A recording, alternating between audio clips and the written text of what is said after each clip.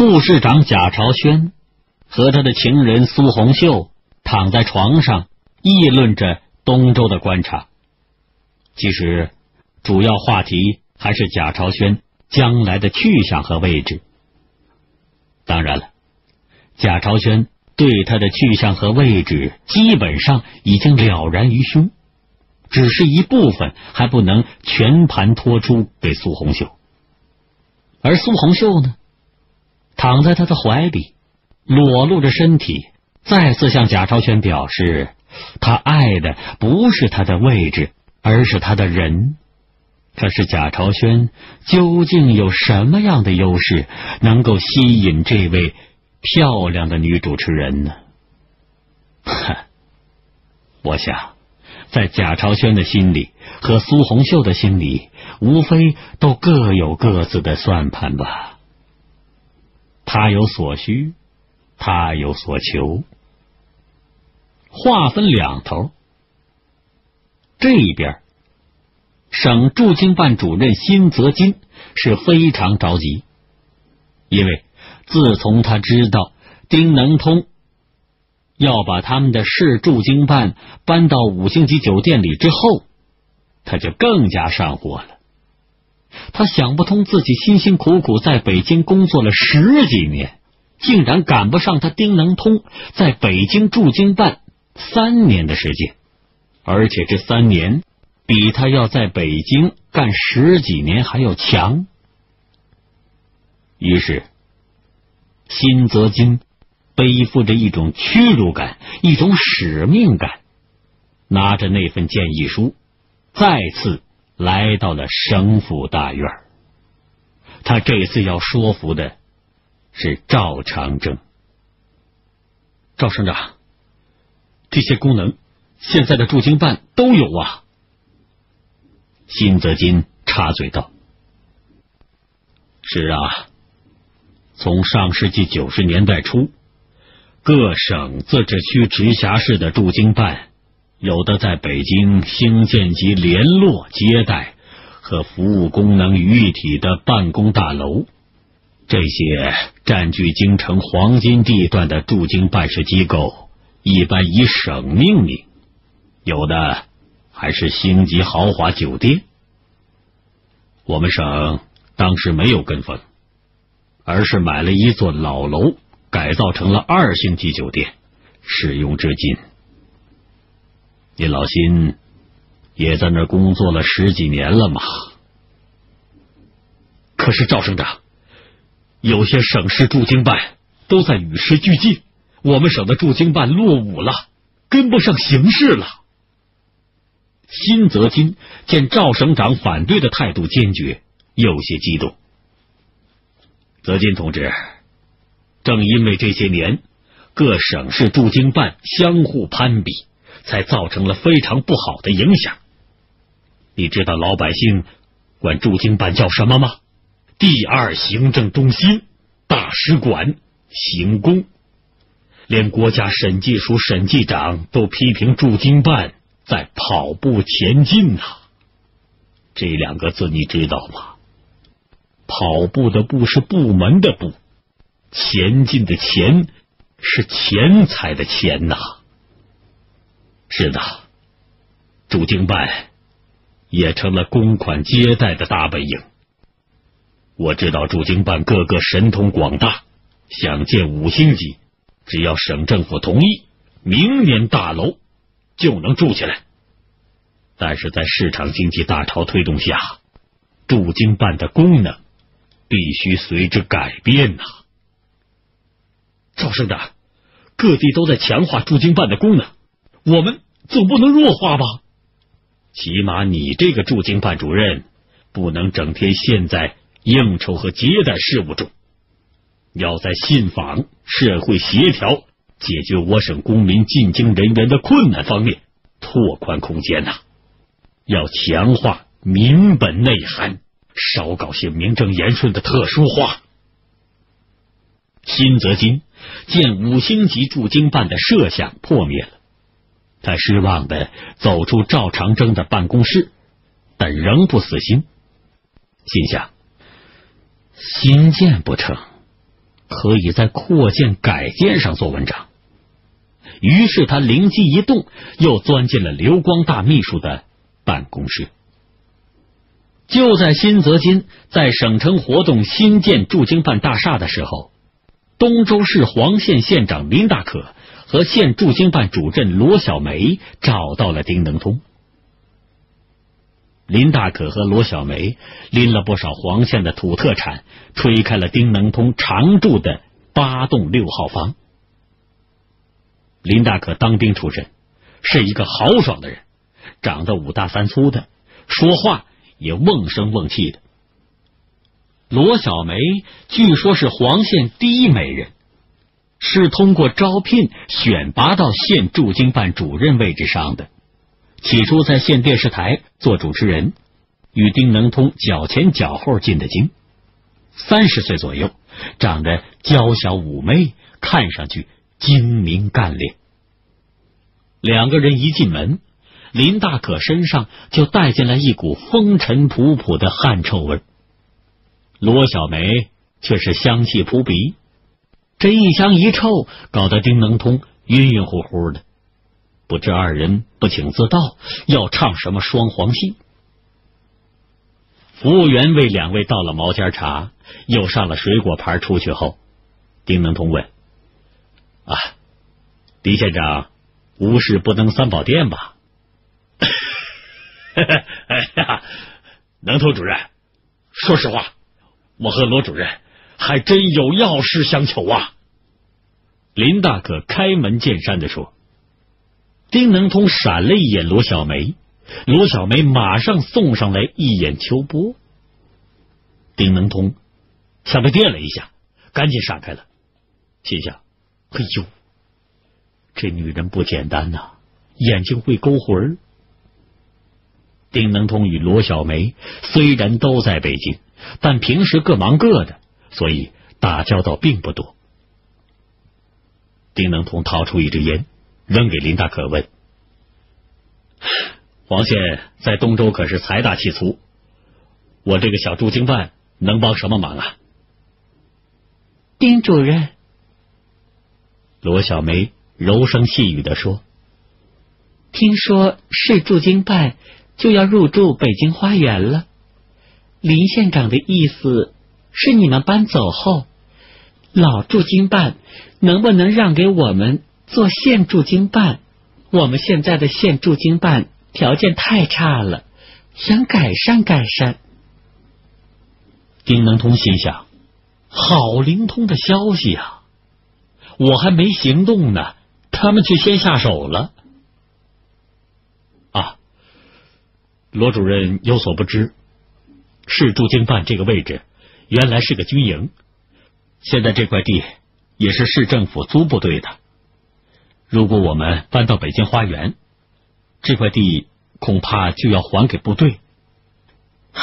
如果你们想要这块地，我可以给你们搭个桥，你们再与部队谈。能通，林大可圆睁二目说：“这么好的地块，为什么不买下来呢？”哈哈哈，李县长，丁能通笑了笑：“这是前两届政府的事儿，据说当时七百万就可以买下来，但是市政府舍不得拿这笔钱，现在恐怕一个亿。”人家也未必肯卖了。哎呀，可惜呀，真可惜呀！林大可抱憾的说：“林县长，买我们是买不起了，我们可以接着租啊。”罗小梅柔媚的建议道。林大可想都没想的附和道：“呃呃，对对对对对，能通啊。”你给搭搭桥，我们县可以接着租啊。丁能通心想，这个林大可可真有点意思啊。罗小梅只是这么一说，他就同意了。哎，看来什么样的英雄都过不了美人关呢？哪个英雄要是过得了美人关，一定是得了生理疾病啊。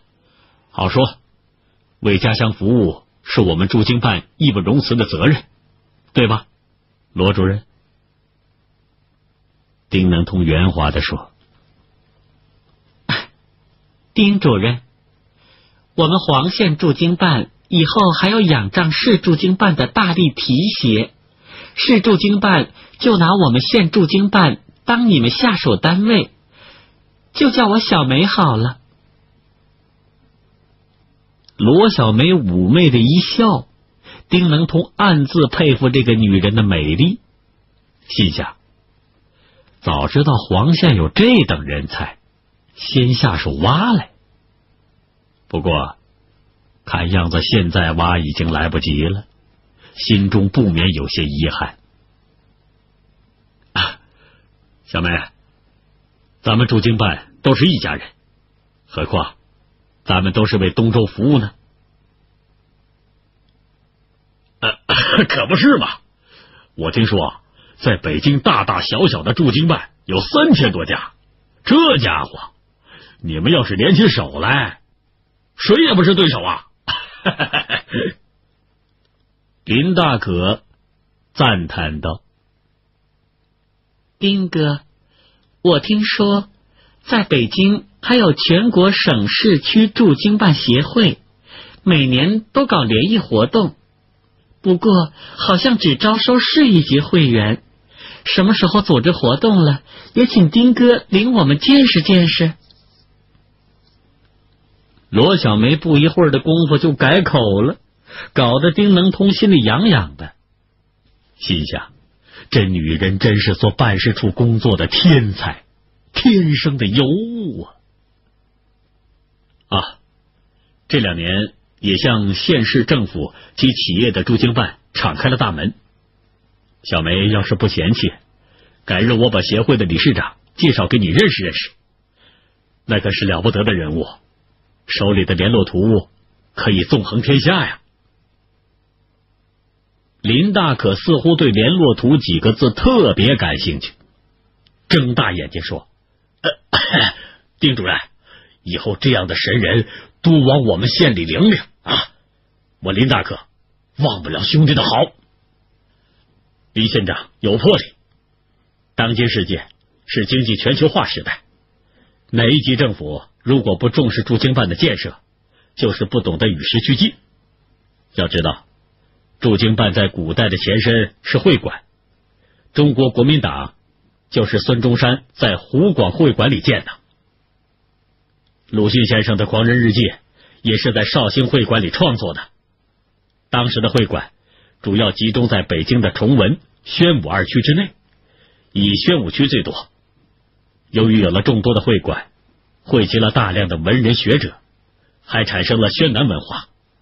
而宣南文化又是北京文化最主要的组成部分。现如今，大多数会馆成了居民大院，甚至成了危房。很令人遗憾呐，丁能通卖弄的说：“哎呀，丁哥，你可真有学问！原来驻京办是由古代的会馆衍生的。这么说，驻京办文化也应该成为一种文化现象，载入史册了。”罗小梅由衷的叹道。是啊，驻京办以会馆的形式存在，可以追溯到明代甚至更早，只是文革时期被查封掉了。改革开放以后，驻京办如雨后春笋般的从省级发展到县级。有些人认为太多太烂了，但这是形势发展的需要，不足为奇啊。你们想，北京是首都。全国各地为了与中央各部委联系、获取信息、观察动向，自然少不了驻京办。况且有些领导进京后，颇有到了北京才知道官小的感触。有了驻京办，就像有了家。再加上招商引资的需要，怎么可能离开驻京办呢？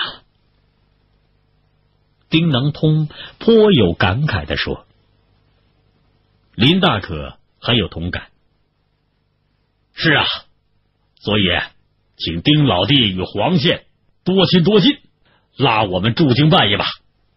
小梅啊，别忘了向丁主任多请教啊。丁哥，赏个面子，一起出去吃顿饭吧。罗小梅妩媚的邀请道：“啊啊，不行不行，明天我陪贾市长去香港，改天吧。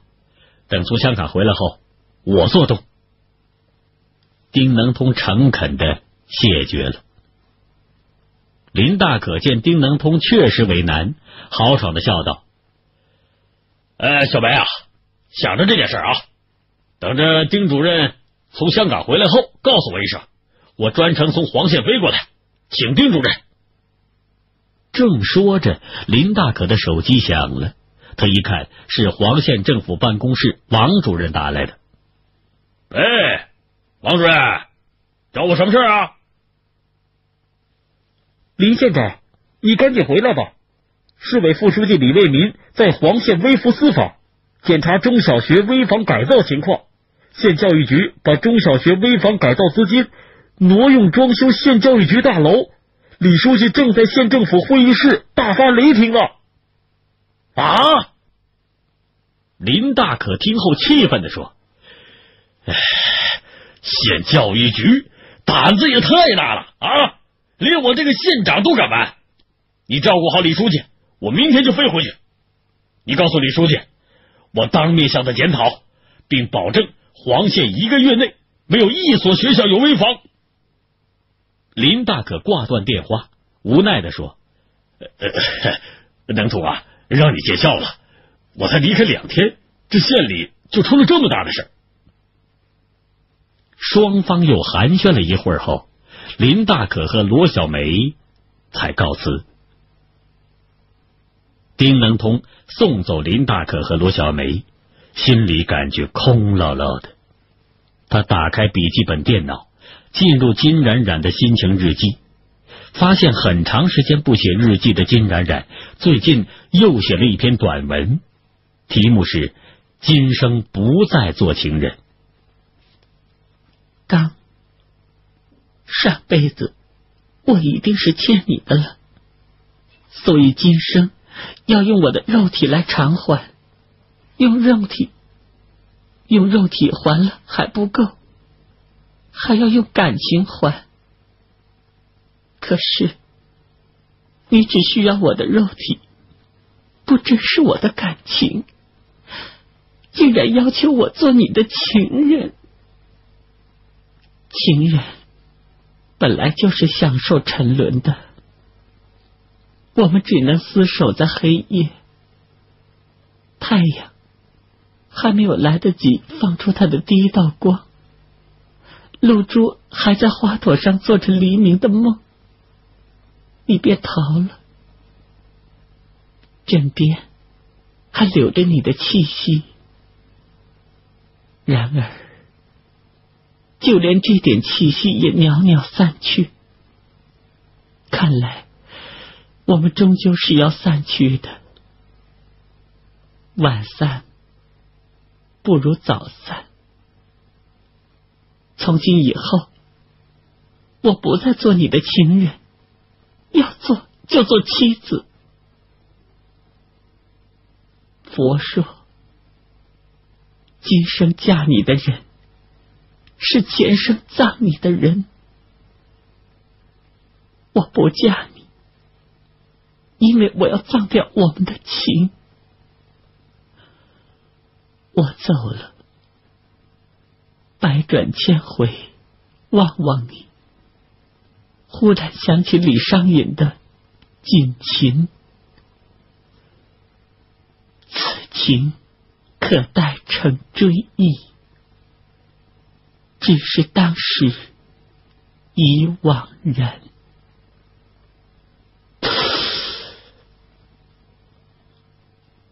丁能通久久望着笔记本电脑的屏幕。异常生气，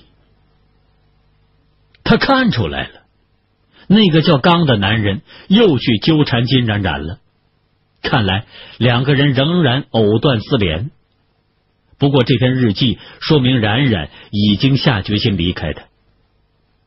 丁能通在对刚的无耻气愤的同时，也有些责怪冉冉太儿女情长，受了伤害还不吸取教训。想到这儿，丁能通给金冉冉打电话，他想以兄长的身份提醒他几句。金冉冉的手机居然关机。李卫民在黄县政府会议室大发雷霆后，让县政府办公室王主任准备了几辆自行车。他逼着主管教育的牛副县长和县教育局秦局长与他一起骑车下乡。他要让这两位不谋正事的领导亲眼看看孩子们在什么样的校舍里读书。一连走了四五个村子，已经是晚上八点多了。王主任想请李卫民和小唐就近吃饭。李卫民说：“前面就是天沟乡了，我们看完那里的学校后，去乡政府吃工作餐吧。”几个人又骑了半个小时自行车，才到了天沟村小学。几个人停好自行车，推开破篱笆门进去，有几间教室，一间一间推开门进去。王主任打着手电筒照着，每间教室都破得四处透风，窗户上塑料薄膜扯碎了，在夜风中哗哗作响。李卫民要过王主任手中的手电筒，照了照屋顶，屋顶透见了天上的月亮。李卫民拍了拍教室破旧的墙壁，看了看月光下。毫无修建痕迹的冷清的学校，痛心的说：“各位领导啊，你们忍心让自己的孩子在这样的教室上课吗？”啊！牛副县长、秦局长一脸的尴尬。牛副县长说：“李书记，昨天我已经接到林县长的电话，命令立即整改。”他正从北京往回赶呢，要当面向您检讨。他的检讨我不听，我要的是行动。秦局长，你这个教育局局长面对这样的校舍，在装修豪华办公室，你能坐得住吗？啊？李书记，我们错了，马上改，马上改。秦局长哭丧着脸说：“改。”危房改造资金用在装修办公大楼里了，怎么改啊？我告诉你，一个月后我还来。如果你们跟我做官样文章，对不起，你们到危房校舍去办公，孩子们到县教育局机关大楼去上课。李卫民说完，骑上自行车向天沟乡政府骑去。几个人骑着自行车消失在夜色中。感情的事儿是说不清道不明的。本来金冉冉已经跟他的刚哥分手了，唉，没办法，不知道又怎么回事，鬼使神差的又回到了刚的怀抱里。当然，这些过程和事情是丁能通事先没法预料到的，因为丁能通太忙了。他忙活在领导之间，忙活在东周和北京之间，忙活着他大大小小的所有的琐碎的事情。也只有在闲暇的时候，才能抽出点时间想想他的妹妹金冉冉。不过，不想还好，一想，看到了他自己的留言，更生气了。他没有想到。妹妹金冉冉跟自己说的好好的，他已经跟刚分手了，但是他又在他的留言之中说了这样的话，在丁能通的心里隐隐有一种气愤和痛楚，这种感觉很复杂，似乎超越了兄妹之间的感情。唉。不管怎么样，不去管他了。李卫民在黄县政府会议室大发雷霆后，让县政府办公室主任准备了几辆自行车，他要带着牛副县长和县教育局秦局长一起骑车下乡。唉，这位一本正的领导，让这两位领导很难堪，难堪到，反正心里不舒服。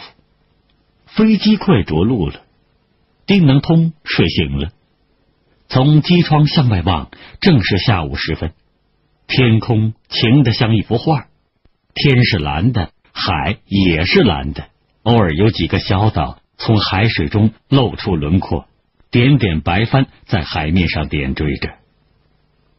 从天上看，大屿山像极了女人用的手袋。连通香港本岛的两座桥，好像白色的带子。岛的形状稍有椭圆的意思，因为新机场跑道是填海建成的，齐刷刷的，正像一个手机带，斜附在手带上。七八年前给萧红林当秘书时，陪萧红林到过一次香港，那是召开东洲国际秧歌节新闻发布会。在丁能通看来，香港永远是在变化的，看不到它的沧桑，只能感觉到它的繁荣，因为这是一个表面繁华拥挤，骨子里又有几分傲气的城市。贾朝轩、陈富忠、苏洪秀和丁能通上了香港黄河集团总经理水敬红的子弹头面包车，穿过繁华街路。水泥森林如过眼云烟，丁能通一下子想到了上海，觉得两座城市比起来，香港有些旧了。然而，正是这份旧，让丁能通觉得香港越来越有味道。很显然，贾朝轩与水镜红早就认识。只是没有陈富忠与水镜红那么熟。陈富忠与水镜红互称陈哥、水哥。起初丁能通很纳闷，哎，怎么对方都称彼此为哥？还是苏红秀好奇的问过后，水镜红解释完，丁能通才明白，原来东南亚大老板之间成了好朋友，为表示尊重，不论大小。一律互称兄长。丁能通心想：“ 哎呀，看来陈富忠与水镜红熟的已经不分彼此了。”奔驰停在香港黄河集团总部大楼前，水镜红亲自引领众人走入电梯，在四十楼电梯口。香港黄河集团董事局主席黄汉臣先生亲自迎接贾朝轩。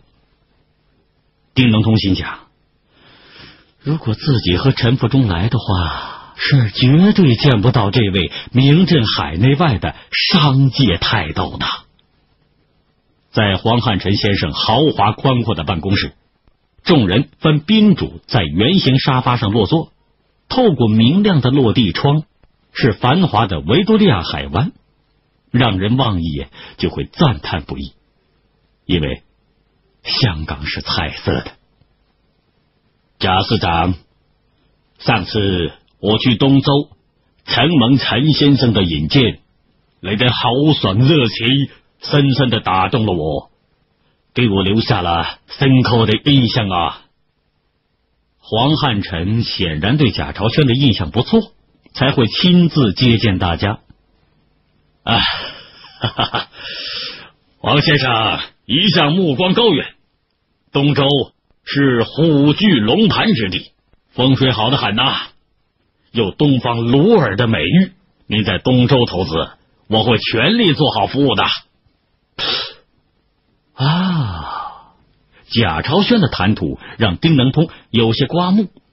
因为贾朝轩表现的风采不像是一座省会城市的常务副市长，更像是与黄汉臣一样的大佬。啊，是是是啊，东周确实是一个投资的好地方。经过考察，我毅然决定与陈先生共同投资建一座东洲最好的五星级酒店啊。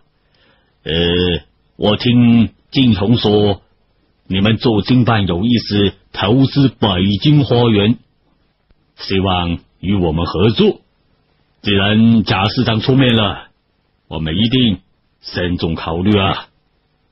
哈哈哈啊，王先生，北京花园的硬件设施是一流的，地点也非常好。哎呀，只是多年来经营不善。如果香港黄河集团能够介入，我们驻京办一定会精诚合作啊！黄河集团的酒店管理水平。是世界一流的，我相信有香港黄河集团的介入，北京花园一定会创造奇迹的。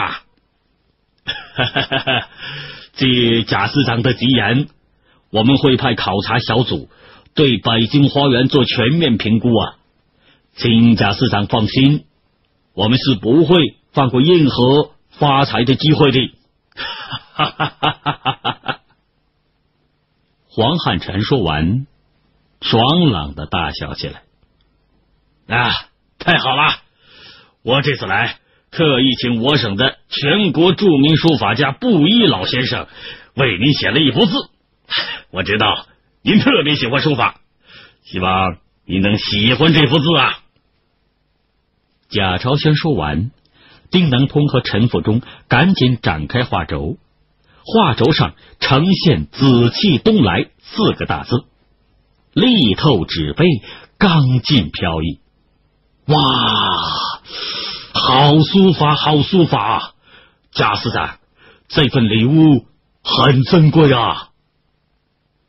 黄汉臣欣赏了一番后，水镜红小心翼翼的收起画轴。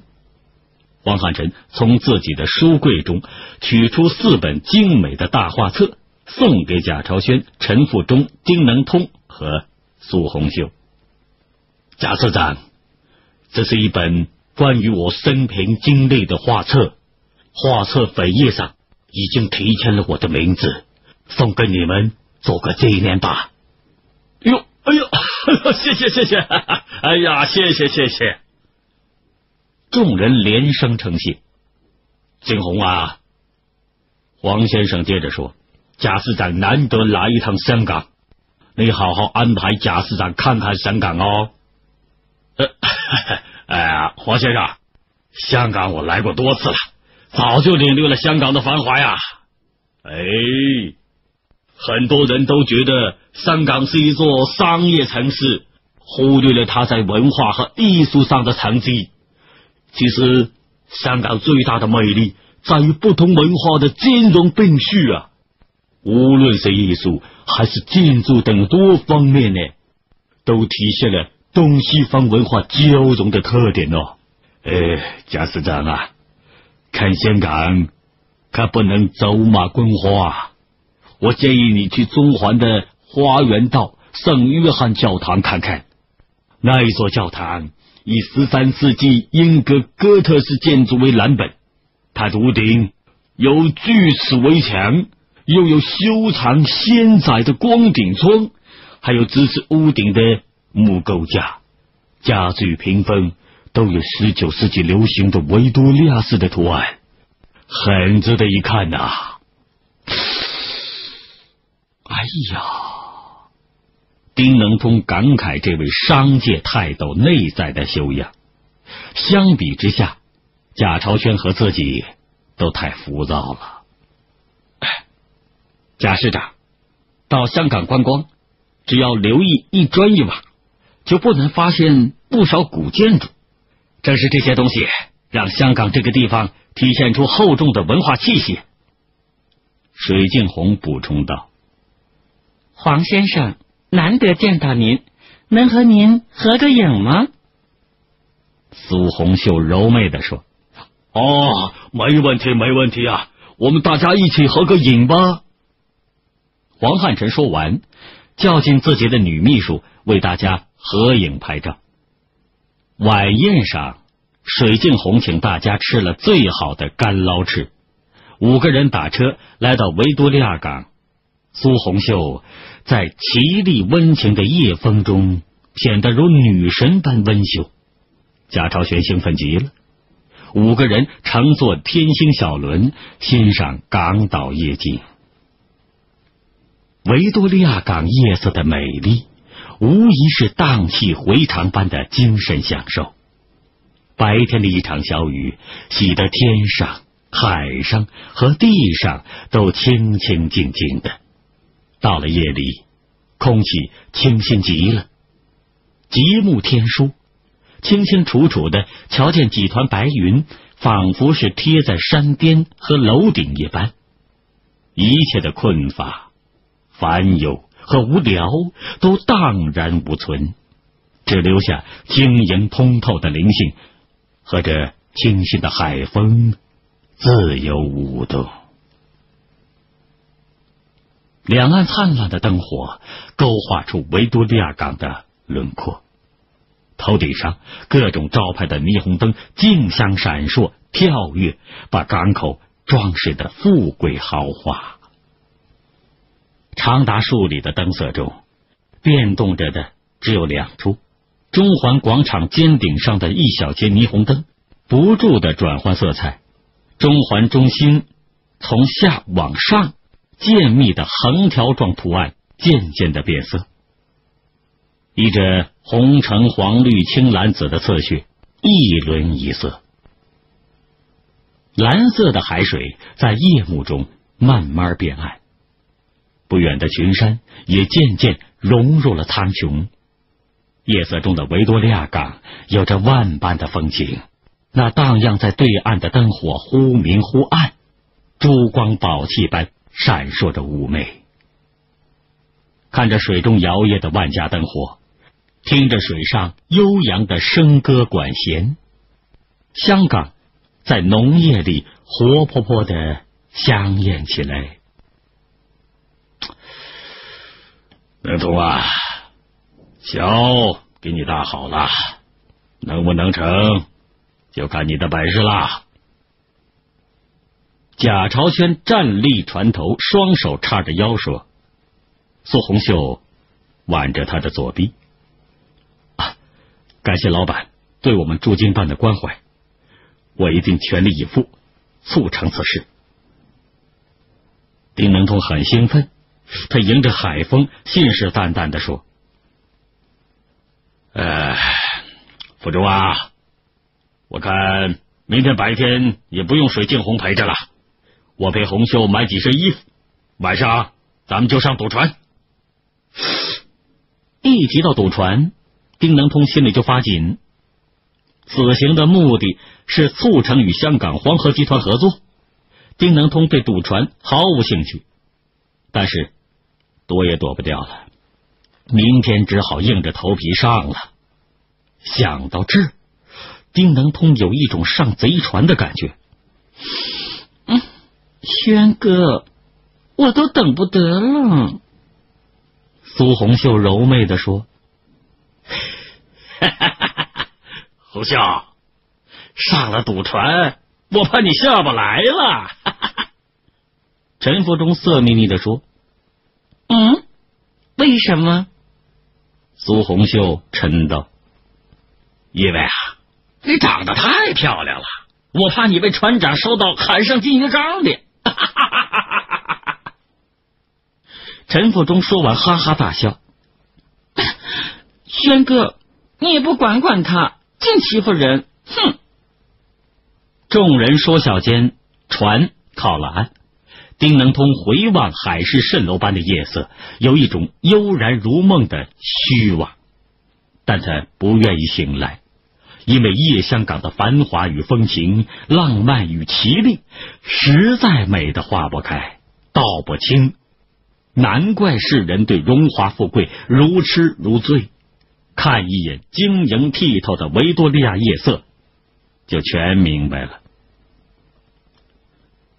李卫民在农村跑了一个星期，非常疲惫的走进家门。这次微服私访，他觉得收获很大。在检查中小学危旧房改造情况的同时，李卫民顺便对农民增收问题进行了调查。他觉得，影响农民收入增长的因素正在发生重大变化。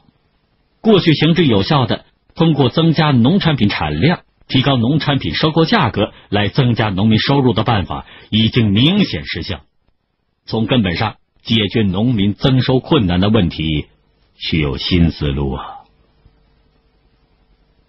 妻子已经一个多星期没有见到丈夫了。听说今天晚上丈夫回来，吴梦玲回到家就赶紧买菜做饭，想好好犒劳一下丈夫。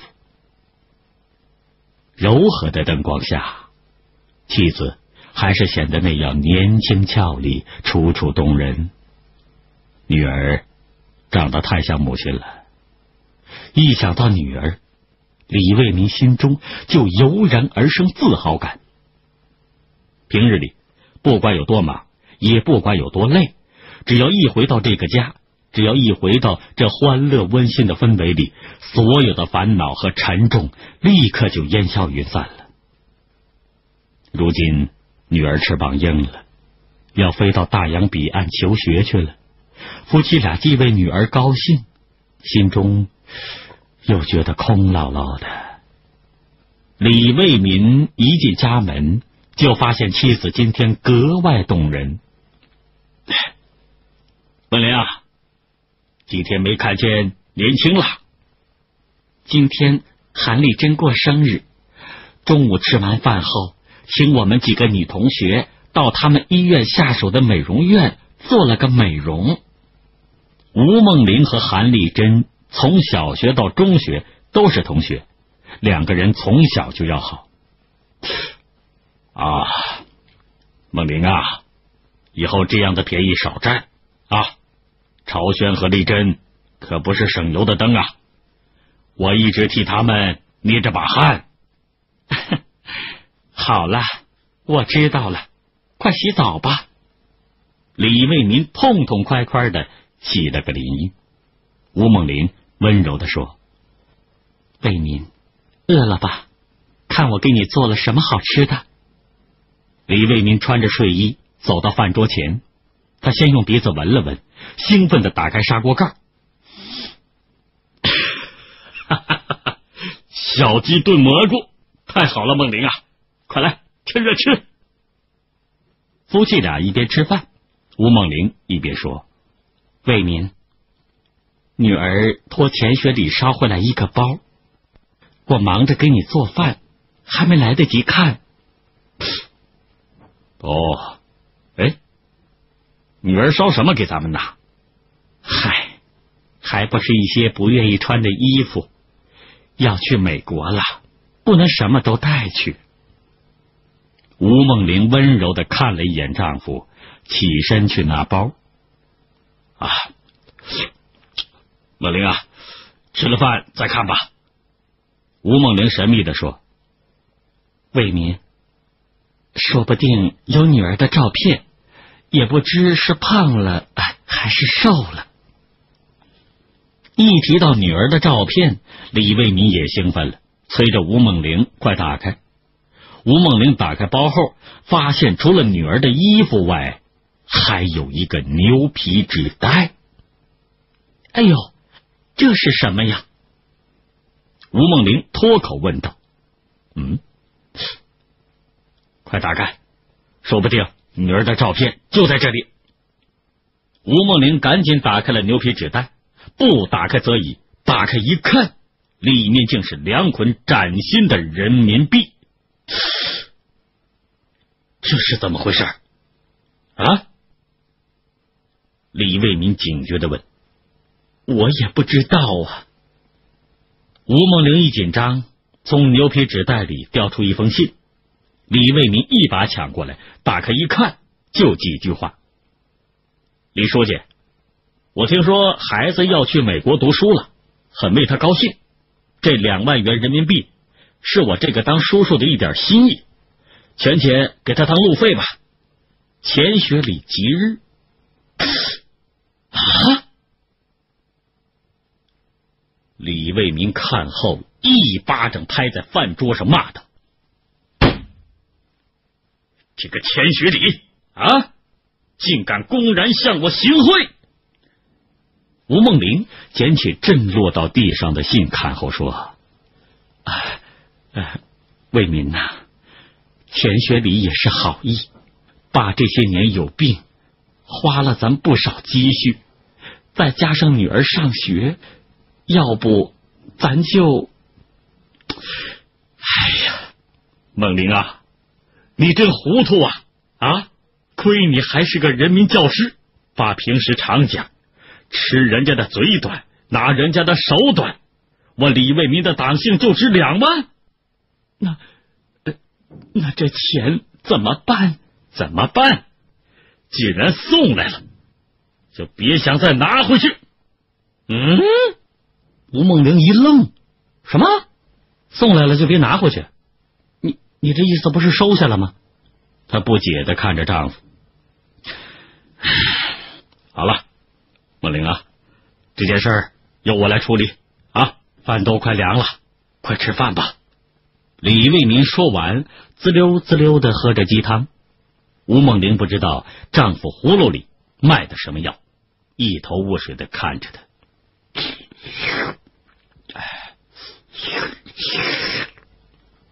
辛泽金从东周回到北京后，心里一直有个疙瘩。丁能通用什么办法搞到北京花园的呢？辛泽金想弄明白。他和钱学礼都在北京混了十几年了，熟得很呢。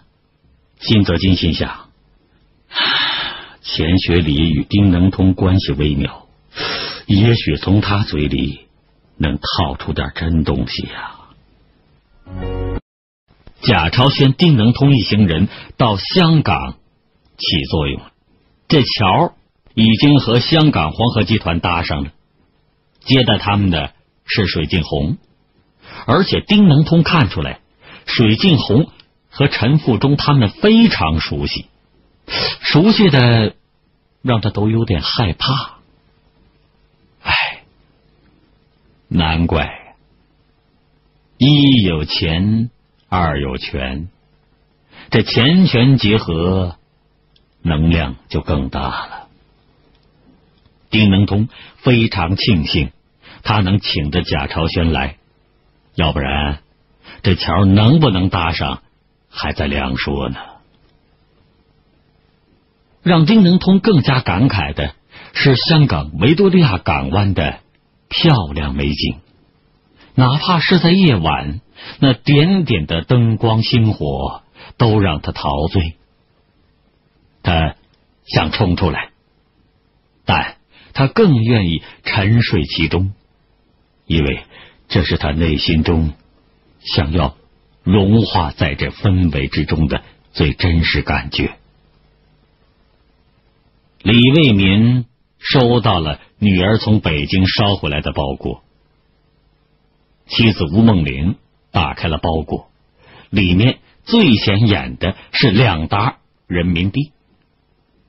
这两沓人民币是钱学礼送的，也不知道这个钱学礼是聪明还是愚蠢。说他聪明呢，是他送礼的理由很充分，而且他送的也比较合情合理。但是说他愚蠢，他不是不知道李卫民是什么样的人。他怎么敢用两万元的糖衣炮弹去攻击李卫民呢？这样的后果只能是……唉，先不提了。辛泽金从东周回到北京后，心里确确实实不舒服。他真的不知道丁能通用什么办法换到北京花园的啊，准确说是弄到北京花园的。因此，他想知道。他想到一个人，那就是钱学礼。想到这儿，辛泽金心生一计。辛泽金心里清楚，丁能通这小子猴精猴精的，难对付的很，而且背后还有萧红林做靠山，惹不起呀。萧红林明年年底换届，很有可能接替赵长征，说不定到时候丁能通还能升。他这么能干，顶了自己这个省驻京办主任的位置也不一定啊。辛泽金已经五十三岁了，他有一个最大的心愿，就是在省驻京办主任这个位置上干到退休，因为他早就把老婆孩子办成了北京人。而且安排了比较好的工作。辛泽金从骨子里喜欢北京。在中国最有钱的人，不是福布斯名单上的人，而是隐藏在北京山里的豪华别墅里，动不动就看一场几千元美金一场票的洋演出。出入的场所都是像美国骷髅会一样神秘的名人富人俱乐部。这些人。背景神秘、身后，不显山不露水，很少公开自己的身份。有头有脸打点自己生意的，却是自己的喽啰。这些人的背景就像大海，要多深就有多深，人家活的才叫富贵呢。辛泽金喜欢北京的文化氛围，能在北京立足的人，都是有本事的人。自己在北京混了十多年了，省里的大小事情，只要与北京有关的，都得辛泽金出面。就因为这一点，他与省市领导的家属子女混得滚瓜烂熟。省里的事儿没有他辛泽金不清楚的了。可是东周市驻京办来了个丁能通，让辛泽金颜面扫地。过去东周市驻京办。没少仰仗省驻京办，丁能通来了以后，抢尽了风头，大有调过来的势头。辛德金确实有些不安了。这些年，随着改革开放的不断深入，各省市区县的驻京办主任那是八仙过海，各显神通。驻京办主任在十几年前还像个官儿，现在。随着自主经营、自负盈亏的面儿越来越大，驻京办主任越来越像个国企领导。地方政府只负责编内人员的工资，其他资金由驻京办自筹。这无疑给驻京办提出了新的课题，也给驻京办主任提供了新的机遇。俗话说：“变则通，不变则殆。”对于驻京办而言，等靠要的时代一去不复返了，只有积极开拓、不断探索、勇于改革，才能跟得上时代的发展。你赵长征不给驻京办出路，我辛泽金自己找。辛泽金非常了解钱学礼的秉性，只要有漂亮女人，嘴就把不住门。辛泽金想。这个女人必须是圈里的，这样才有共同语言。他想来想去，想起了东周市黄县驻京办主任罗小梅，那可是一个可以让任何男人看一眼就着迷的女人呐。钱学礼也熟悉，想到这儿，辛泽金狡黠的笑了。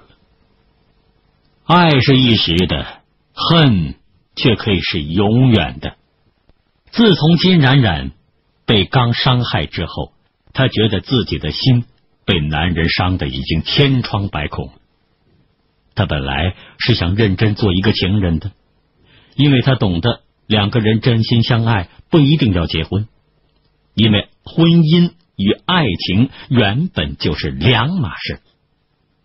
我们在邂逅相逢时，用我们自身的想象做材料塑造的那个恋人，与日后作为我们终身伴侣的那个真实的人毫无关系。金冉冉骨子里的暖，被这个叫刚的男人化作了冷，又被丁能通融化成水。但刚只要肉身，根本没有真爱。唉，女人是水做的。天生灵秀，经过深思熟虑，金冉冉发现丁能通让自己做保姆，听起来太冷酷，实际上是为自己好。金冉冉骨子里喜欢挑战自己，从小就有出人头地的梦想。北京这座城市的繁华与上海不同，北京是男人的野心推动运转的，上海起码有一半是靠女人的名利心滋润的。北京的胡同里飘荡着奴性，大街上充斥着野性，无论野性还是奴性，都是征服者的游戏，带有男人身上的汗臭味。上海的雨丝是阴柔的。那法国梧桐的树影都是婆娑的。丁能通给金冉冉呈现了一片新的天地，金冉冉甚至对这片天地有了一种莫名的憧憬。这种憧憬搅得他坐立不安，茫茫然的。他特别希望丁能通给他打个电话，最后还是忍不住自己先拨通了丁能通的手机。金泽金。既没把晚饭安排在哪个驻京办餐厅，也没安排在什么五星级酒店，而是找了一家极有特色的花味餐厅。因为这家餐厅是专门以烹调各类鲜花为特色的，在北京可以吃遍世界，想吃什么都有，而且一定做的是全国最好的。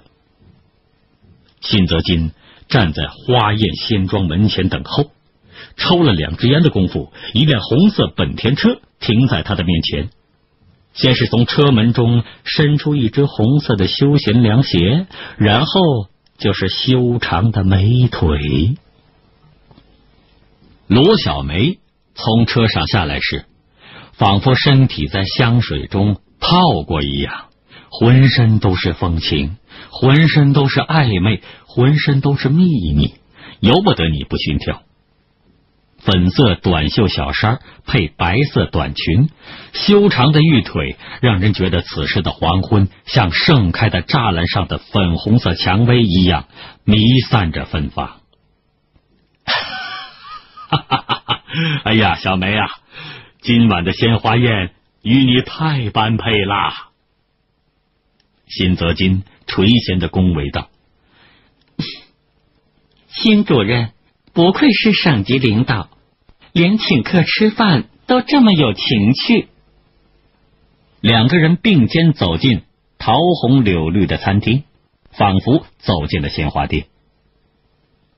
啊，小梅呀，这家的鲜花宴别具特色，如果不事先预定，根本没有位子呀。太好了，鲜花美容养颜，新主任，你可真会请客。两个人走进包房，餐桌正中是一个造型精致的鲜花篮。辛泽金将手一让，让罗小梅落座。服务小姐倒上菊花茶。罗小梅妩媚的一笑，问：“新主任，钱主任怎么还没到啊？”“啊 啊啊！马上就到。哎呀，这家伙刚从东周回来。”好像丁能通去香港了，他们驻京办就忙活钱学礼一个人了。辛泽金打着圆场，心想：东周的局面很复杂，何不借机了解点东周的情况？啊啊，小梅呀，东周要办花博会，你们黄县没争取一下？争取也没用，市里几个郊区都快打出人命了，特别是金桥区和西塘区。其实我们黄县在东周是养花大县，花卉已经有了产业基础。哎，没办法，离市区太远，市里不会考虑的。哎，小梅啊，东周驻京办与北京花园谈的怎么样了？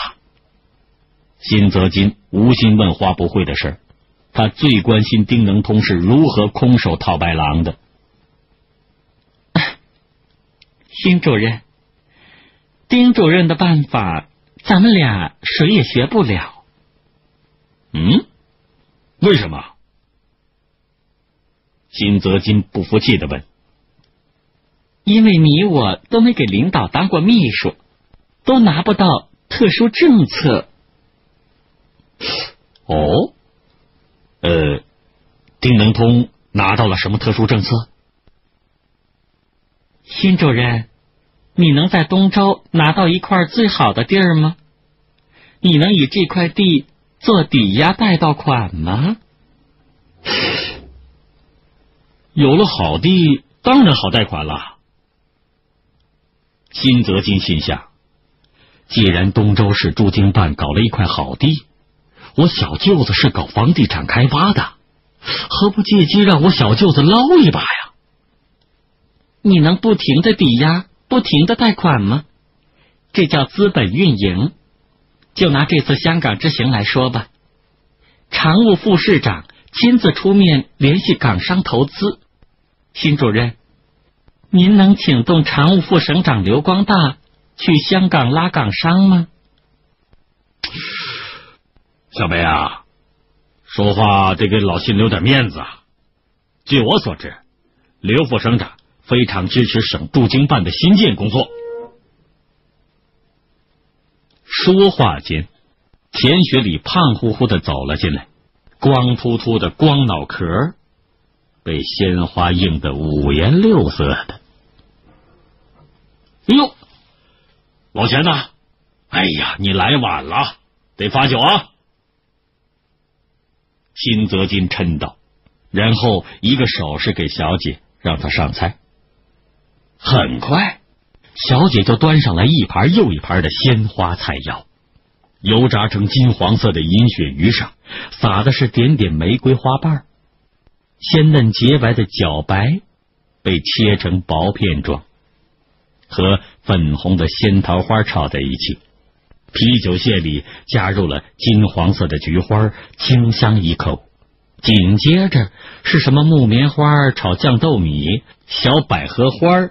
酸腌菜汤，凉拌糖梨花，水煮芭蕉花，真可谓红的似血，白的如玉，黄的成金，蓝的赛钻石，几乎所有的颜色都在竹篾编制的餐桌上集合了。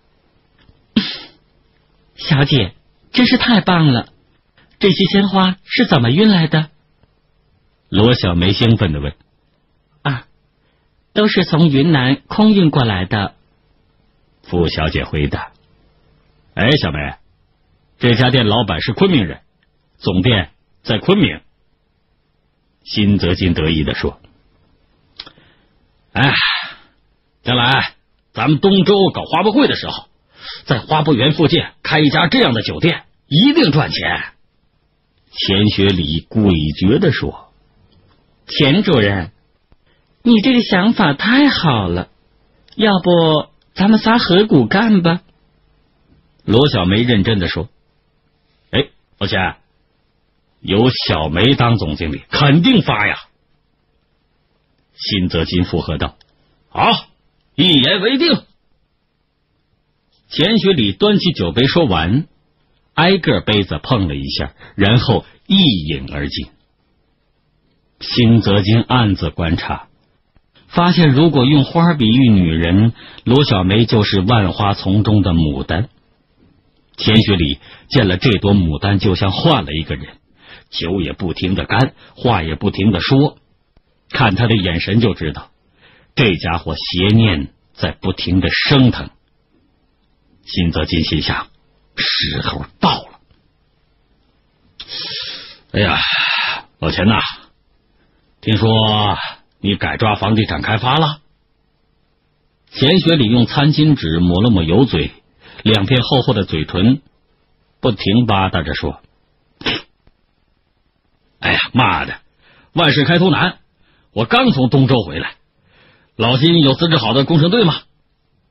哎呦，老钱呐，你算问着了，我小舅子就是包工头子，资质没得说啊，老钱。”俗话说：“肥水不流外人田。”哪天我介绍你们认识认识啊？辛泽金一心想从老钱那儿分一杯羹，没想到这个蠢货送上门来了。钱大哥，我表弟也是搞工程的，常言道见面分一半这么好的事儿，别落下小妹呀。嗯。罗小梅一个秋波送上去，钱学礼肉乎乎的脑袋一下子嗡，涨得通红。哎呀，小梅没说的，有大哥的就有小妹的。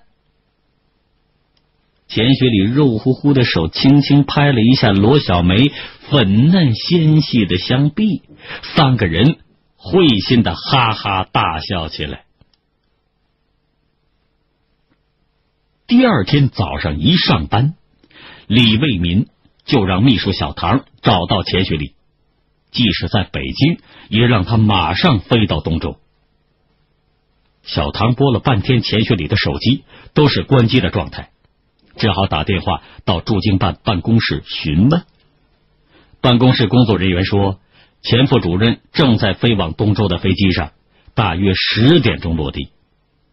小唐。只好用短信通知钱学礼，到东周后立即到李书记办公室。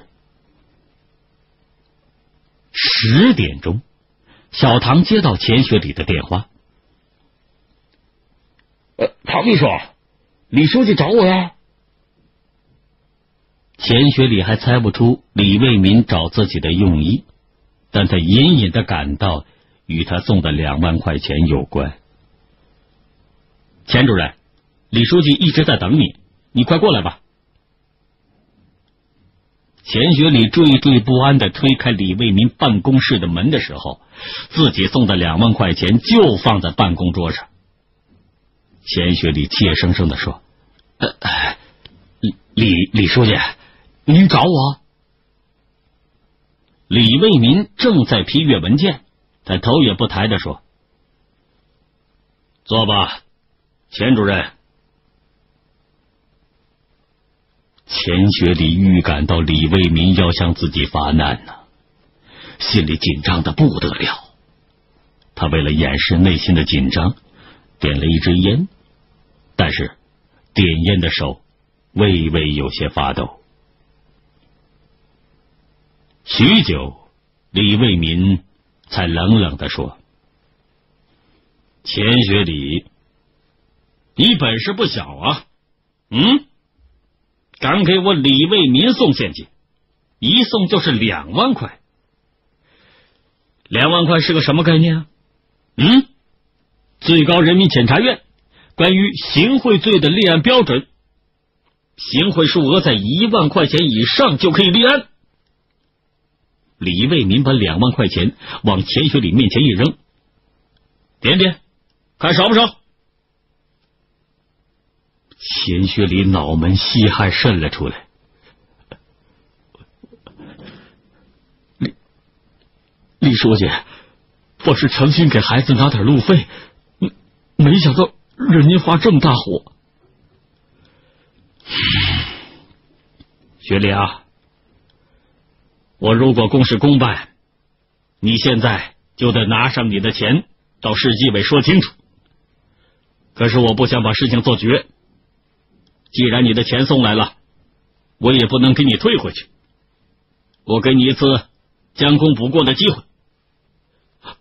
李书记，您说，您说，我听您的。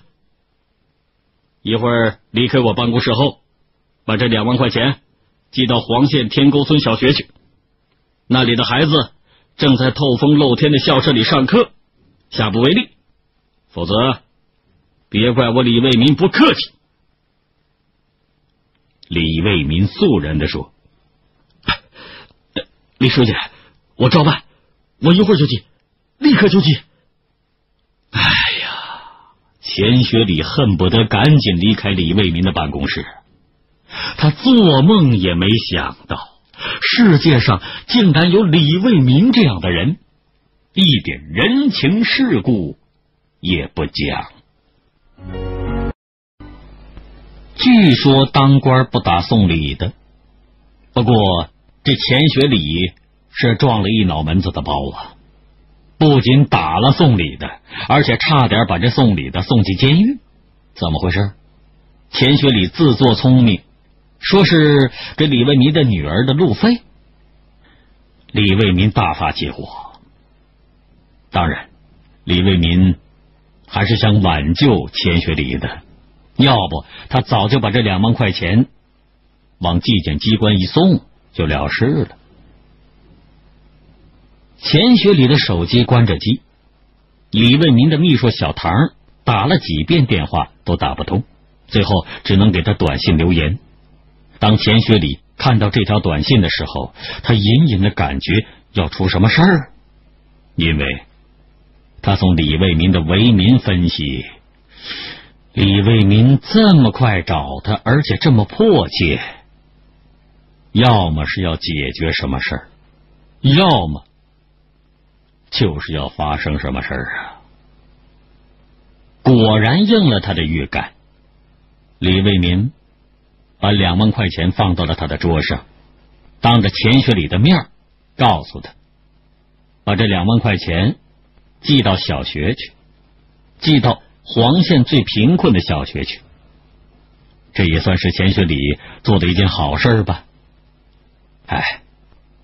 其实李卫民完全可以公事公办的，那钱学礼很可能为这两万块钱丢了前程。李卫民今天的做法恰恰充满了人情味儿，他是想敲山震虎、治病救人。钱学礼灰溜溜的走了，李卫民长长的舒了口气，他走到窗前。望着市委大院那个用花岗岩制成的大门楼子，越发感到它朴素、坚定、大气、雄浑、厚重。贾朝轩一行从香港回来，没有回北京，而是直飞东周，因为在香港，贾朝轩就得到消息，省委组织部下来一个考察组，是专为他和李卫民来的。这让贾朝轩非常警觉，因为在东周政坛上，没有人不知道有两个人政治前途无量，一个是自己，另一个就是李卫民。省委组织部在贾朝轩不在东周之际，不声不响的下来考察贾朝轩和李卫民，这葫芦里卖的是什么药？不能不让贾朝轩警觉呀！其实贾朝轩骨子里一直瞧不起李卫民。因为李卫民这个人啊，人情世故从不放在眼里，干巴巴、硬邦邦、冷冰冰，一点情绪也没有，坚持原则已经到了不可理喻的地步了。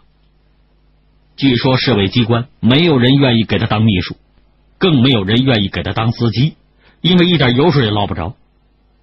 李卫民就像个工作狂，搞得秘书、司机一天到晚死累死累的。啊就说住房吧，所有副市级以上干部都住进了常委大院。市委机关事务管理局几次做李为民的工作，他就是不办，到现在还住在居民区里呢。机关干部都佩服他的魄力和干练，但对他不近人情的劲儿都打怵。不过老百姓都说李为民好，因为不管多大的事儿，只要是老百姓的事儿。他碰上了，准管到底。有时候撕破脸皮，搞得下属一点脸面也没有，还经常在大会小会上说：“老百姓的事儿没小事儿。”一脸很正经的面孔。据说李卫民从未洗过桑拿，现在仍然坚持在市委机关澡堂子洗澡，也没去过歌厅。这种人也没有娱乐细胞啊！哎呀。谁也别想请他吃个饭。上次在北京，贾超轩请李卫民吃饭，也是借李卫民住在驻京办的机会。许多人理解不了李卫民的生活方式，贾超轩背后叫他李克斯。与贾超轩相比，李卫民是从上面派下来的，属于空降干部，在东周的根基与贾超轩没法比。贾超轩是一点儿一点儿从基层干上来的，当过街道办事处科员、社区科科长、街道办事处副主任、书记、区商业局局长、区长助理、区长、市建委主任、党组书记、市政府副秘书长、市长助理、副市长、市委常委、常务副市长，每一个台阶都没有落下，付出了艰辛的努力呀。贾朝轩最大的特点是关心下属，凡是跟过他的干部，无不以我是贾市长的人自居。机关干部大多数都知道，跟贾市长干活不白干。贾市长这个人知道下面人苦，有什么好处，从来不忘了大家。所以在机关干部中，贾朝轩要比李卫民有人缘。贾朝轩认为，只要下面基础牢。上面再有人拽，则仕途之路光明无限。贾朝轩回到东周，先向王元璋汇报了花博会申报的情况，又向萧红林汇报了香港之行港商有意投资北京花园之事。贾朝轩从这两个党政一把手的神态中，并未发现什么异样，心里平静了许多。看来。省里这次考察不过是例行公事，并没有什么特殊情况，在东周更没有掀起什么轩然大波。贾朝轩回到了自己久违的办公室，惬意的坐在高背皮椅上，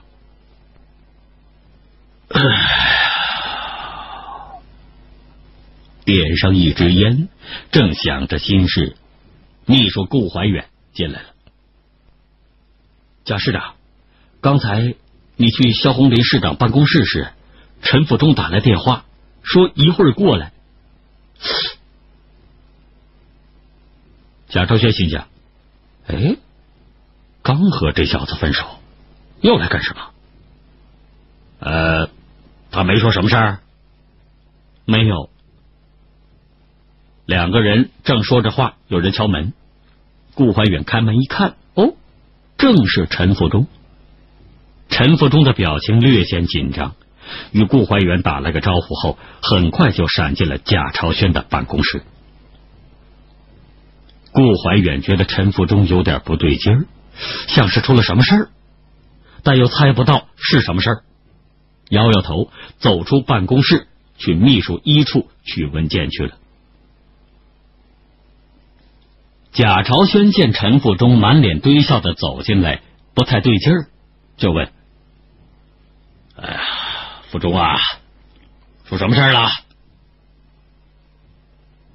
陈富忠谦卑的从皮包里拿出一把钥匙：“哎，大哥，肖伟在琼水湖畔开发了一片别墅，请法国设计师设计的，建的真他妈好，我给你弄了一栋。”哎，这是钥匙，早就想给你。你老婆在家。贾朝轩接过钥匙，掂了掂。不光这事吧？陈福忠心虚的说：“大哥，从香港回来，我才知道，感情段玉芬被人杀了，还有办公室主任叫刘可欣。不中。”我回来后，邓大海就跟我说了，据说手段极其残忍。老弟呀，这事儿不会与你有什么关系吧？贾朝轩隐隐约约的觉得陈福忠是为此事而来的。大哥说哪儿的话？哎呀，咱现在有头有脸的。哪能干这种下三滥的事啊？是不是啊？只是段玉芬当时贷款确实为难过我，公安局找我了解点情况也很正常。只是刑警支队的石存山凭啥老监视我呀？啊，整几个便衣警察跟他妈的特务似的，老在我家和北都大厦晃。嗯，你怎么知道石存山派人监视你？贾朝轩冷冷的问。大哥。老弟是在江湖上闯过来的人，哪条道上没有朋友？福忠啊，你说实话，段玉芬的死确实与你没有关系。贾朝轩目光如炬的看着陈福忠问：“大哥，不做亏心事，不怕鬼叫门，我你都不信了？”陈福忠镇静的说：“哎呀，福忠啊，段玉芬挡了你的财路，我怕你手下的人又犯老毛病。平时对海志强他们管的严的啊，那小子不是个省油的灯。” 放心吧，大哥，海志强没有我的话，什么事也不敢做。福忠，既然什么事也没有，公安局找麻烦也不怕啊。什么时候我请邓大海吃顿饭说说？贾朝轩无限畅往的吸了一口烟，一点点的吐着烟圈烟圈越来越大，进而。消失无形。贾朝轩觉得自己就在一个无形的圈子里，这个圈子里有一种场，像磁石一样吸着自己，无力摆脱，只好随着磁场转，越转越小。渐渐的，深度近视镜后面，一双疲惫的双眼紧紧的闭上了。房间里传出了呼噜声。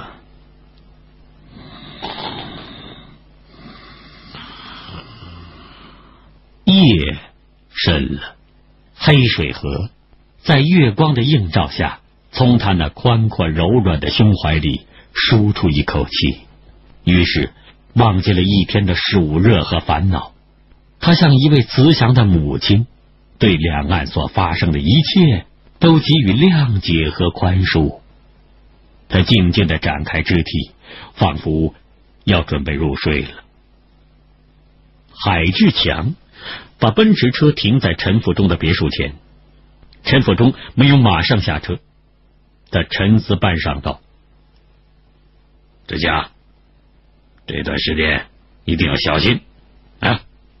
让弟兄们都先散了，给他们拿点钱，让他们到南方散散心。需要回来时再回来。”大哥，贾市长怎么说？海志强试探的问。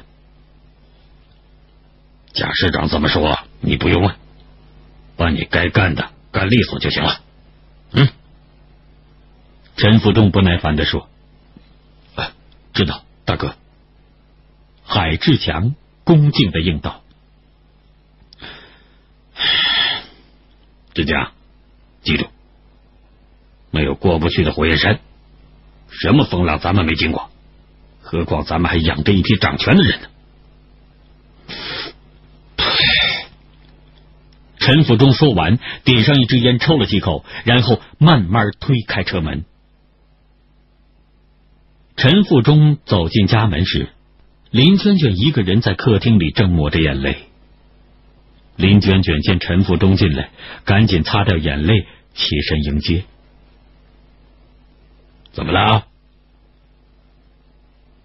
陈福忠把烟按在茶几上的烟灰缸里问。没怎么。林娟娟显然有些怕陈福东。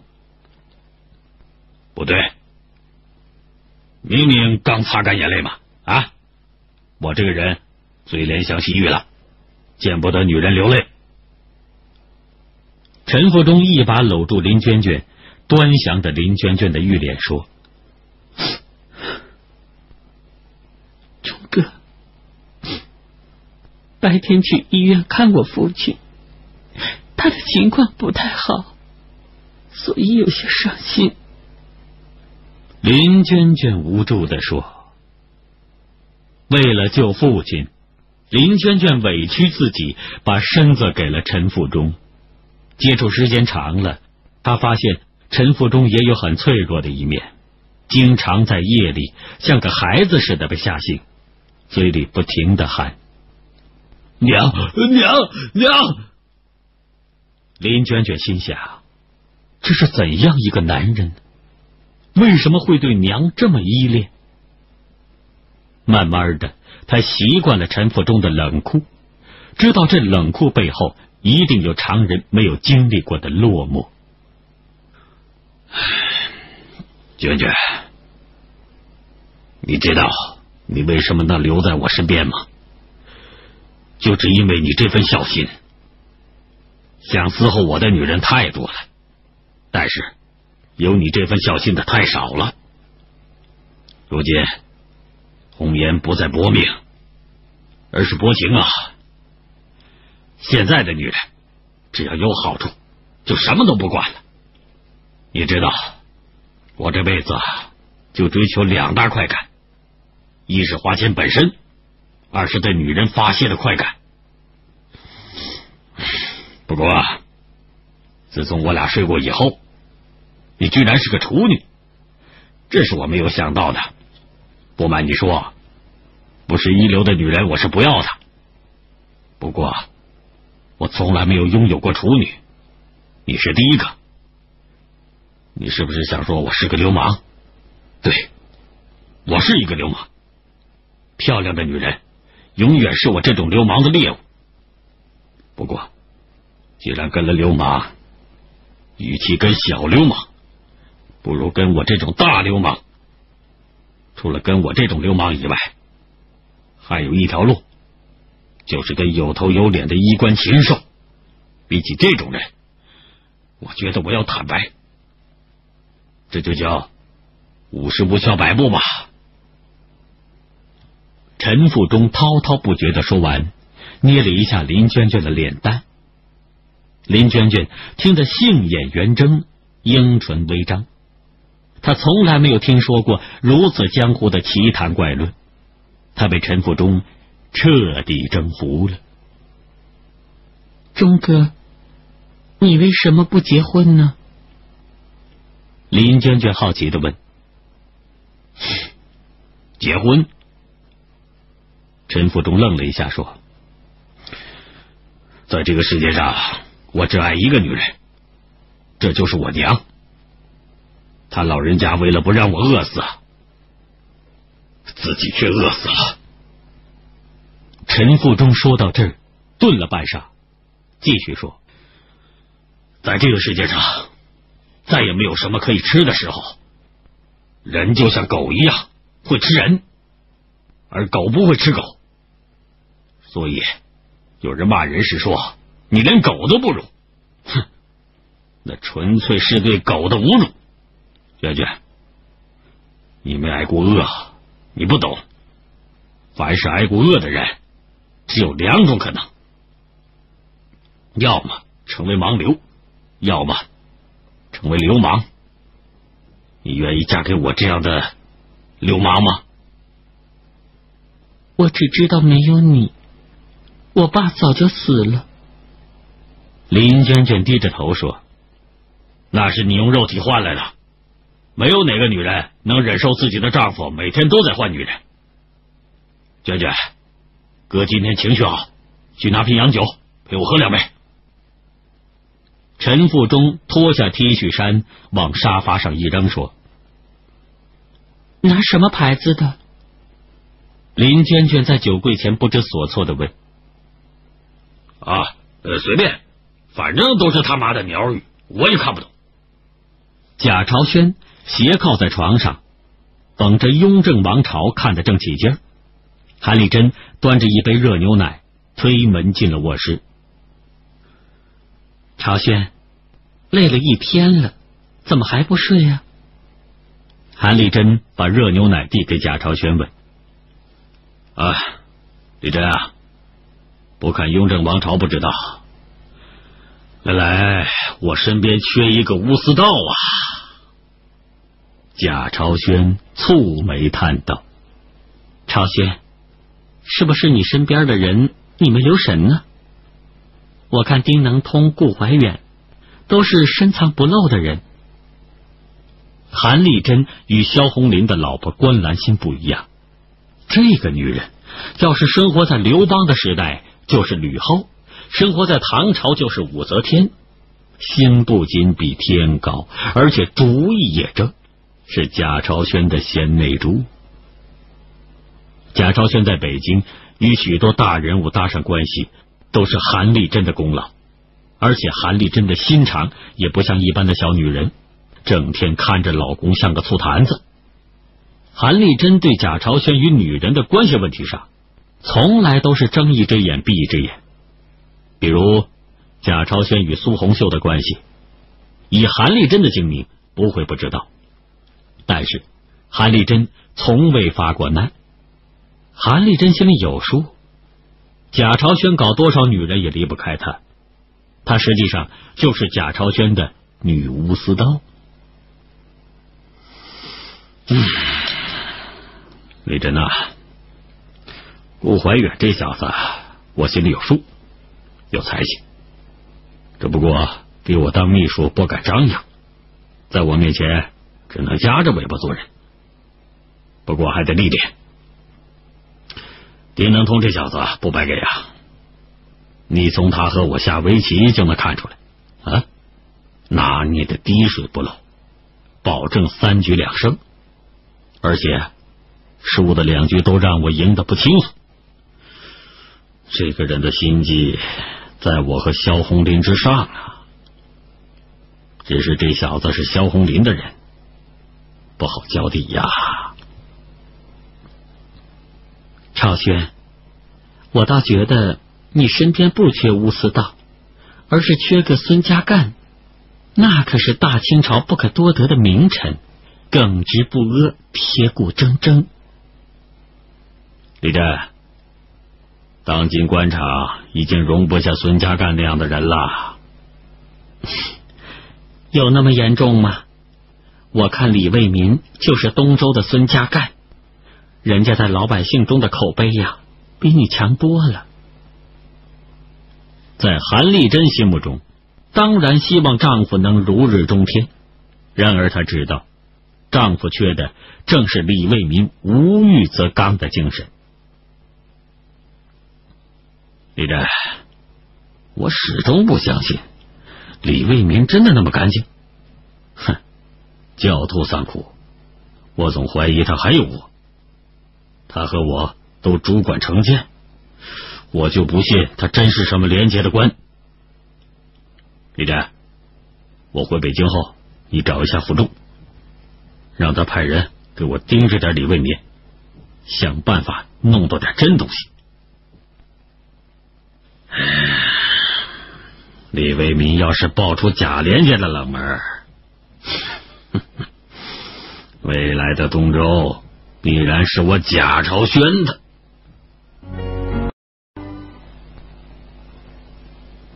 陈富忠觉得自己遇到麻烦了，为什么？因为在陈富忠的别墅外边，以及他的集团大门口。总有他所谓的条子晃来晃去，看来公安局真的要盯死他呀！这使得陈福忠不由得担心起来。怎么办？哎，他买了一套房子，送给了贾朝轩，用曲线救国的方式跟贾朝轩委婉的说出了自己的担心。在贾朝轩的百般逼问之下，陈福忠依然没有说出来，就是他杀的段玉芬。在政治的舞台上，每个人都想用尽浑身解数，让自己在舞台上的表演时间尽量长一点，让自己的表演尽量精彩一点，博得更多的掌声。贾朝轩也不例外，他在床上。读着一本《雍正王朝》，看过《雍正王朝》之后，他非常感慨，因为他觉得自己的身边缺一位乌思道一样的人物。但是他的老婆韩丽珍更认为他应该拥有一位像孙家淦这样的功臣。贾朝轩太了解官场了，他从街道办事处。一点一点的爬起来，每一步都运筹帷幄。他错误的认为，台湾的柏杨说的对，中国人是丑陋的，对待这样的人，最好的办法就是请君入瓮。但还有歪理，以为中国人除了物质的四大发明外，还发明了精神的四大发明，那就是太监、小脚、八股、大辫子。贾朝轩这些观点早就给韩丽珍说过。虽然夫妻所见略同，但是韩丽珍还是希望丈夫成为政治家，而不是政客。朝轩当选副市长的时候，你和李卫民的票数一样多。要不是他退出竞选，你也不一定当上这个副市长。按你的说法，我这个副市长还是他恩赐的。他不也因祸得福？不然能当上市委副书记吗？排名也排在我前头。哼！贾昭轩不以为然的说：“哎呀，我不是这个意思，我是说你们俩这个扣一点不宜结。”韩丽珍最懂得富贵妻荣的道理，她现在与贾朝轩是一荣俱荣，一损俱损。常言道：“二虎相争，必有一伤。”她不希望丈夫受太多的政敌。放心吧，夫人，我现在处处都让他一步，处处都尊重他。当官之道，我还是懂的。正所谓，做官先做人嘛。这就对了。你们俩年龄相当，都有拼命三郎的美誉。应该合起来做点事儿，这样对你们两个都有好处。嗯，老爸，我看你这个医院院长当的都快成政治家了。我哪是什么政治家？在我心中，你和儿子就是我的事业。唉，李真呐，北京王老那儿，你抽空还得多走动走动啊。关键时刻，老爷子说一句话，可够我受用半辈子的呀！你放心吧，王老的糖尿病，我请咱们省祖传名医给配的中药胶囊，吃的效果非常好。只是你在党校毕业前去拜访一下更好，准备点古玩什么的。老爷子好玩。嗯。一般的东西拿不出手。哎，丁能通倒是跟我说过，一个玩古董的玩家手里有一副价值不菲的明代永子围棋，估计老爷子能看上眼。那还不抓紧办？那好，回北京后我就办。行了，太累了，睡吧。哎呀，哎呀，真有点累了。石存山是从医雪那儿知道丁能通回东州的。石存山有一肚子苦水，想跟老同学道道，所以一大早就把车停在了丁能通家的楼下。丁能通昨天晚上睡得晚，正所谓小别胜新婚，给医雪交公粮是在所难免的，因此快到十点了，两口子也没起床。一雪对石存山一大早来打扰很不满意，一年到头难得与丈夫温情几次，好不容易在一起睡个懒觉，石存山一会儿打电话，一会儿按汽车喇叭，气死人了。但是一雪一想到段玉芬的死，气就消了。他理解石存山，石存山是一个硬汉，也只能在丁能通面前诉诉苦，估计。石孙山内心痛苦极了。一雪催着丁能通起床，赶紧给他热了杯牛奶。丁能通洗涮完毕，一口气把一杯牛奶灌下去，拿了两片面包就出去了。石孙山的桑塔纳一直往琼水湖方向开，公路下就是滚滚滔滔的黑水河。河两岸所有的高杆作物正在出穗吐荫，玉米、高粱、谷子长得齐刷刷的，都已冒过了人头。各种豆类作物都在开花，空气中弥散着一股清淡芬芳的香味。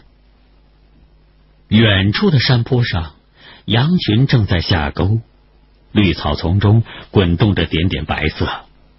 石村山目视前方，车开得很快，仿佛要逃离这个肮脏的世界。孙山，案子有眉目了吗？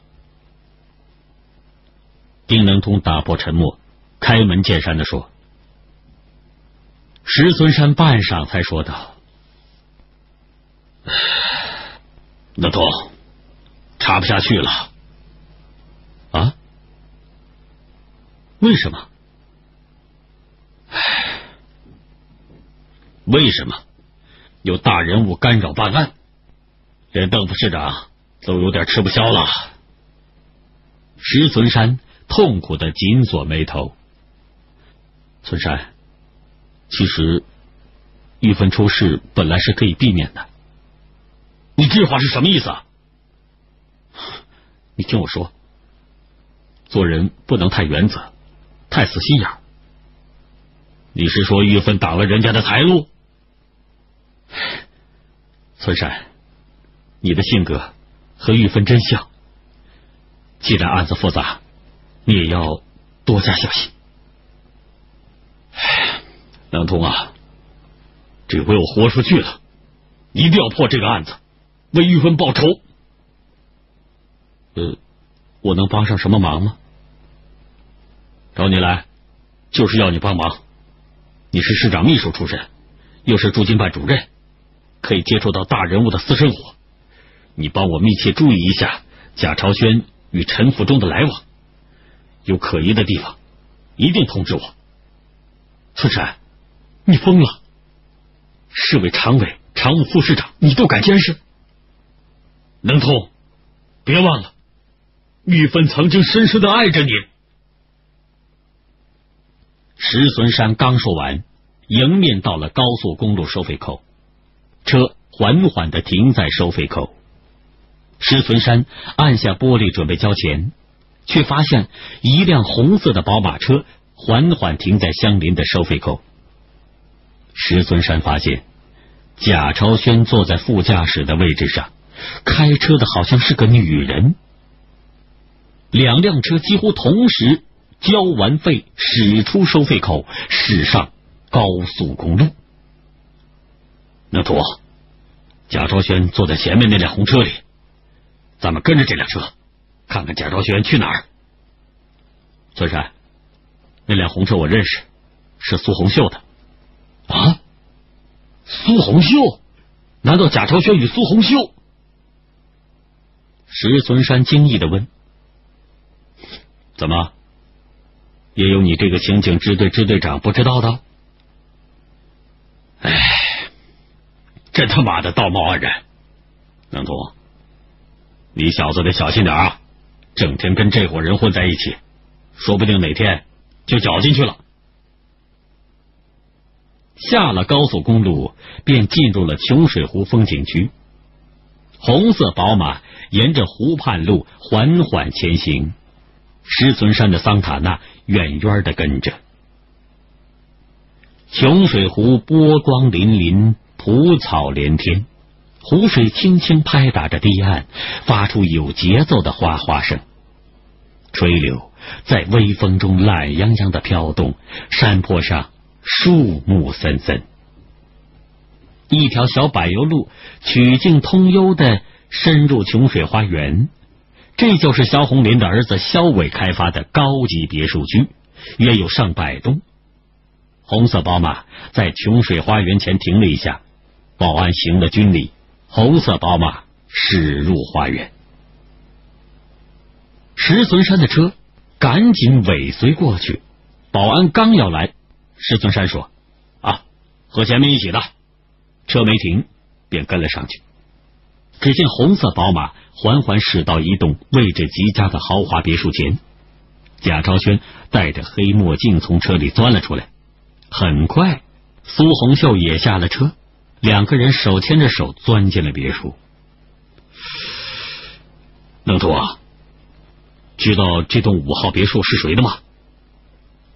谁的？陈福忠的。哦，你怎么知道？别忘了，玉芬的死最大的犯罪嫌疑人就是陈福忠。看来你一直在监视他。能同啊？东周有这样的市长，老百姓能过好日子吗？石存山说完，踩了一下油门，车轮与柏油路地面迅速摩擦，发出尖锐的叫声，车飞速驶出琼水花园。哎，孙山，路边小饭店一家比一家好，我饿了，咱俩吃活鱼吧。啊，好啊！哎呀，我俩好长时间没痛痛快快的喝了。石存山。把车停在湖边一个叫“湖畔活鱼馆”的小酒店，两个人在湖边的凉棚下坐下。丁明通点了两条爱吃的鱼，石村山要了叫小烧的当地特产白酒。两个人你一杯我一杯的喝了起来。酒到酣处，石村山不客气的说：“这，能通啊。”我觉得你变了，不是那个在大学时积极向上、热情善良、聪明义气的老同学了。孙山，我知道你现在对我的活法有看法。说实在的，我对你的活法也不敢苟同。都什么年代了，还满口原则主义的？无论干什么，都是为了养家糊口。当工人，当老师。都是养家糊糊口，挣工资吃饭。当干部就成神了，就成公仆了。难道你干这个刑警支队支队长，不是为了养家糊口？扯淡！每个月不给你发工资行吗？孙山，你和玉芬犯一个毛病，什么事儿太认真。跟你说句实话，在东周官场上，我佩服一个人。就是市委副书记李卫民，我承认他是个好官，可是一个李卫民能撵几个丁？俗话说，虱子多了不怕痒，屎干了不臭。我为啥要当这个驻京办主任？说实话，我离开肖市长之前，要去市公安局当局长也不在话下。可是别看你整天打打杀杀的，你见的死尸多。我见的行尸多，行尸走肉，你懂吗？我不怕你笑话，我就相信适者生存。我在驻京办更容易看清东周的事，这叫旁观者清。我告诉你，肖红林、贾朝轩、李卫民，还有他妈的袁熙帆，早晚得见个高低。政治斗争是你死我活的。我在北京山高皇帝远，就是不愿意搅到是非窝里去。孙山，我劝你办事别太死心眼了，小胳膊拧不过大腿啊！如果周围都是坏人，就你一个好人，好人也成坏人了。我丁能通也有原则，就是同流不合污，常在河边走。哪有不湿鞋底的？但是我保证不湿鞋帮。难呐！太阳升起来了，黎明却死掉了，亚当都堕落了，我们还能清白吗？来，干！丁能通借着酒劲儿砍了一阵子心里话，说的石存山气得满脸通红，嘴唇都紫了。丁能通，你说的是人话吗？啊？按你的意思，玉芬的案子就不破了，白死了，还屎干了就不臭了，不臭也是屎。我看你现在就像一坨干屎。你放心，像李卫民那样的好官是大多数。远了不说，副市长邓大海就是这样的好官。我石村山官不大，但也是以李书记为榜样做人做事的。早晚有一天。充当黑社会保护伞的腐败分子会暴露在光天化日之下。我劝你小子家长小心啊！驻京办就是个大染缸，你没听人家说驻京办也叫驻京办吗？蛀虫的蛀啊，还什么山高皇帝远？别忘了，北京城就是皇城根儿。谁不知道你这个驻京办主任的工作，就是陪领导打牌、喝酒、买字画、玩古董、送礼，服侍国家部委司局领导，将礼品不露痕迹的送上。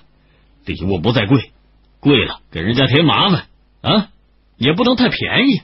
关键是投其所好，还有就是接机送机，安排好吃喝拉撒睡玩。家属去了还得安排购物。要让人家高兴来，高兴去。我问你，你做了三年驻京办主任，去了多少次长城、故宫？我估计你自己也记不清了，不赔行吗？石尊山毫不客气的一阵挖苦。石尊山，丁能通有点恼了。我好不容易回趟东周。见你一面不容易，我可不是专程回来听你挖苦我的。石存山笑了笑，缓了缓语气说：“能统，不是好朋友，不会这么坦诚的说话。你别怪我。自从玉芬被害后，我一直心情不好。算一算。”能够倾诉的朋友只有你了，孙山。我知道你心里苦，可是我更担心你成为第二个段玉芬呐。其实我一直想做一个清正廉洁的驻京办主任。李宗武在他的《厚黑学自序》里说：“最初民风浑朴，不厚不黑，忽有一人又厚又黑。”众人必为所制，而独占优势。众人看了，争相效仿。大家都是又厚又黑，你不能治我，我不能治你。独有一人不厚不黑，则此人必为皆人所信仰，而独占优胜。譬如商场，最初商人竟是货真价实。忽有一卖假货者掺杂其间，此人必大赚其钱。